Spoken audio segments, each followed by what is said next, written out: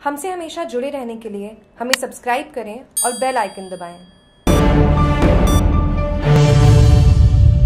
गुजरात से डूंगरपुर ज़िले में आए पाँच दोस्तों में दो जनों की पानी में डूबने से मौत गोताखोरों की मदद से एक की लाश निकाली गई, दूसरे की लाश की तलाश अब भी जारी डूंगरपुर ज़िले के सीमलवाड़ा क्षेत्र में बने अमरपुरा बाँध में पिकनिक मनाने आए दो दोस्तों की डूबने से मौत हो गई। गोताखोरों की मदद से एक की लाश को पानी से बाहर निकालने में कामयाबी मिली, वहीं दूसरे की लाश की तलाश अब भी जारी है। पुलिस से मिली जानकारी अनुसार निकटवर्ती राज्य गुजरात के महीसागर ज़िले के लूनावाड़ा से पाँच दोस्त पिकनिक मनाने अमरपुरा बाँध पर बुधवार दोपहर को आए थे। पिकनिक का आनंद और गर्मी से निजात पाने के लिए पाँचों दोस्तों ने बाँध में डाइव लगाई। पाँच में से दो दोस्तों को तैरना नहीं आता था, जिससे दोनों पानी में डूबने लगे।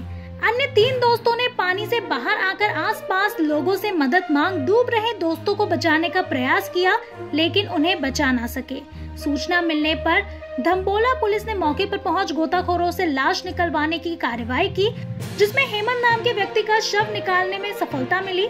वहीं सनी नामक व्यक्ति की लाश की तलाश अब भी जारी है। जागरूक टीवी के संवाददाता से बात करते हुए रामेश्वर चौहान, जाँच अधिकारी थाना धम्बोला डूंगरपुर, इन्होंने ये कहा।